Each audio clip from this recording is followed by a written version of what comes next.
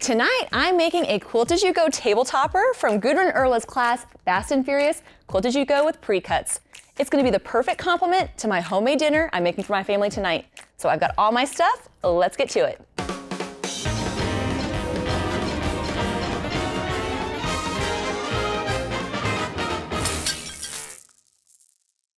My husband Jeremy is amazing because he took all the kids out of the house so I can make dinner. And by make dinner, I mean I'm gonna make a cute little table topper and then make dinner. I talked to Gudrun earlier and she assured me this would be a quick and easy complement to the meal. So I have my batting scrap because I'm gonna quilt as I go. I have my backing fabric, a nice busy print so that when it gets dirty it won't be super obvious. I mean, come on, this is the Walters household after all. I have a focal print for the center of my topper background fabric, and then just some assorted scraps I had laying around. Now that's what makes this class so amazing. I get to use leftover pre-cuts to make this beautiful quilt. So I'm gonna put the rest of this aside right now, and we're gonna start chopping up those 10 inch squares. I'm stacking my 10 inch squares two at a time and cutting each of them into two rectangles. So I'm cutting the background fabric into strips to put in between my wedges and some other strips to put on top and below my wedges and then we'll finally see how the first part of this block comes together. All right, I've got it cut out and let's start making our rectangles into wedges. On one side of my rectangle, I'm gonna mark two points. And then I'm gonna cut from the opposite corner to that point, and it's gonna give me a beautiful wedge shape. And I'm gonna repeat with all my rectangles. This is how you turn a rectangle into a wedge. You ready for your mind to be blown? Here it comes. So I'm gonna finish cutting all these into those wedges and I'm gonna start pondering what I'm gonna make for dinner. Because, I mean, obviously, if he's taking the kids, so nice, so I can make this homemade dinner.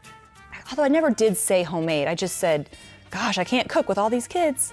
Something easy and quick, so I had plenty of time to play with my table topper. Fast and easy.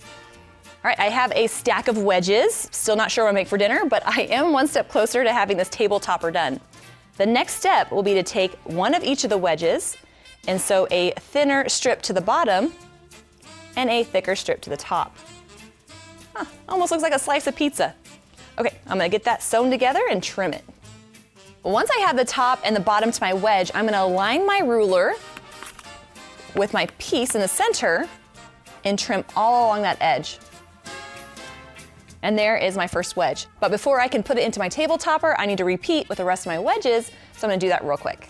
And to make it a little quicker, since I'm a little crunched on time, I'm gonna chain piece these and do one side of all of them and do the other side of all of them and then trim them all at the same time.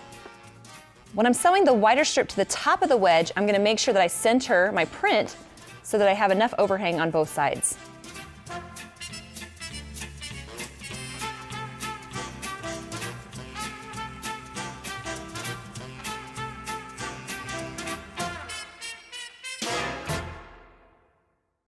So the wedges are finished and I've went ahead and put together the back side of my table topper. I have my bright, beautiful print for the back and I have my piece of batting because I'm gonna quilt as I go, meaning as I piece it, it's actually being quilted as well. I've also found the center of my batting and drew a circle around, and that's important because that's gonna be my guideline when I place the wedges on the batting. So picking two random wedges, I'm gonna place them so that the bottom overlaps that drawn circle. This would be my guide right there and I'm gonna place them directly across from each other. So it's gonna be nice and symmetrical. Now I'm not really gonna pin all these as I go, but since these two aren't sewn down, they're gonna get a quick pin to hold them in place. Then I have two of those little strips that I cut out of the background fabric. And what I'll do is I'll place them along one of the edges of my wedge, and I'm gonna stitch it down using a quarter inch seam. Then I will press it open, and I'll have the first part of my wedge. So it's kind of like a stitch and flip, but since I have the batting and the backing, that's where that quilt as you go is gonna come out. And I'm gonna do the same on the other wedge, but on the opposite side. I'm gonna piece this, rotating around that circle until it's all done. Since I'm working with multiple levels of fabric and batting, I have my walking foot on. Now I know I tend to piece with this anyway, but if you don't, you definitely want it for this project.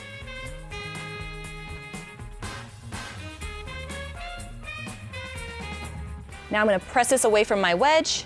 I'm gonna be really careful because I do have a piece of batting under here, but I don't wanna scorch the tabletop underneath. And that's the first part, look, it's so cute. Do the same on the other side.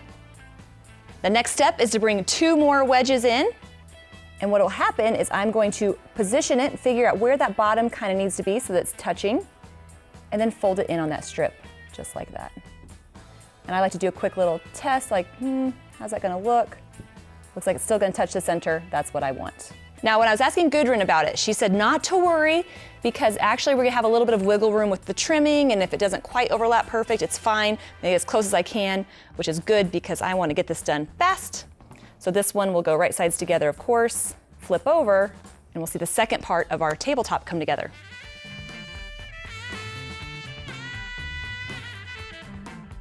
So the second wedges are on, and I'm gonna keep repeating that. Sewing the wedge, sewing the strip, wedge, strip, until I'm all done with all the wedges.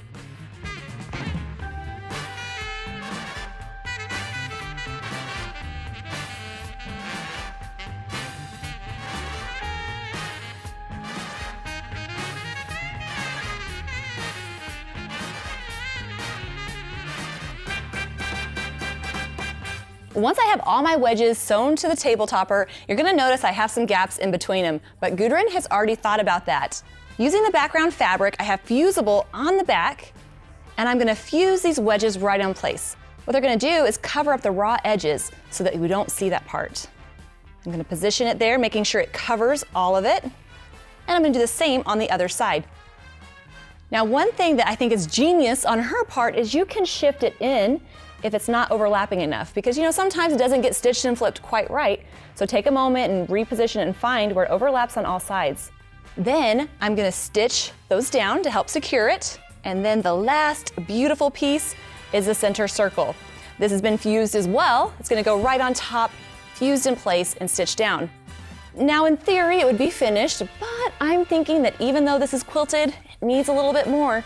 So I'm gonna get it ready and add even more quilting on top of my already quilted table topper. So I'm gonna get these stitched down and get to machine quilting.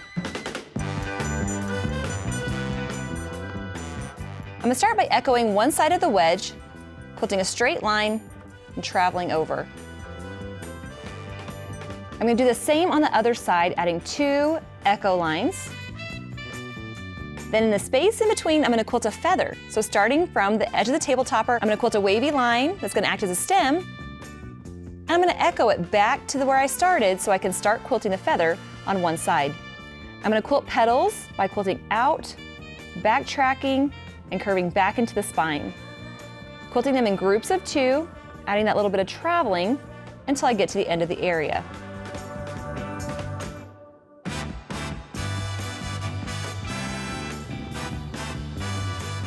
Then to get to the bottom so I can quilt the next side, I'm gonna add another wavy line back to the bottom of my feather and do the same on the other side, quilting my petals by quilting out, backtracking, and coming back into that spine.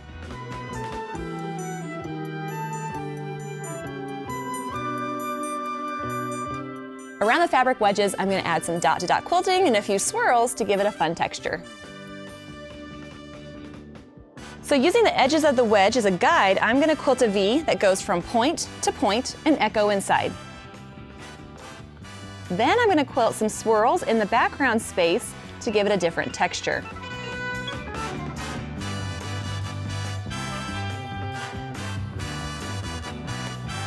I am loving how this is looking and I can't wait to get it finished up, which I should probably try to do pretty quickly since the kids are gonna be home soon.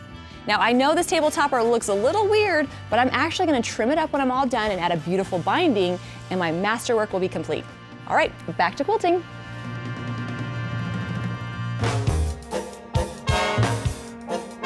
And in the time it takes to order a pizza, this table topper is finished.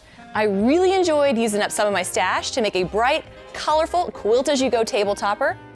Adding even more quilting after I was done piecing it was like the icing on the cake. I enjoyed adding some dot to dot quilting, some swirls, and just adding beautiful textures that might help hide any stains that happen to come along the quilt. This table topper is one of many projects in Gudrun's class, so be sure to check that out. The information for that is in the description box below. Oh, and speaking of pizza, dinner's ready, so I better get it up on the table in the kitchen.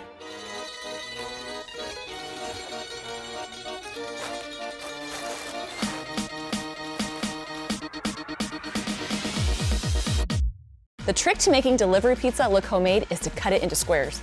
Well, thanks so much for watching, and I'll see you soon on another episode of the Midnight Quilt Show.